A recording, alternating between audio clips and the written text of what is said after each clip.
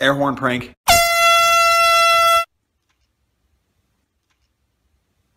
Did someone say something? Have you ever heard the sound of a rubber ball breaking a window? Uh-uh. Would you like to? Well, welcome to the hood.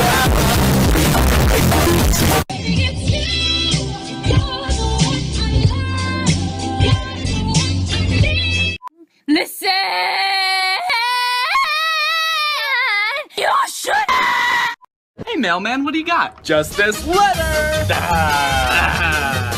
Jonathan, I don't love you anymore. I'm in. I'm gonna be a doctor.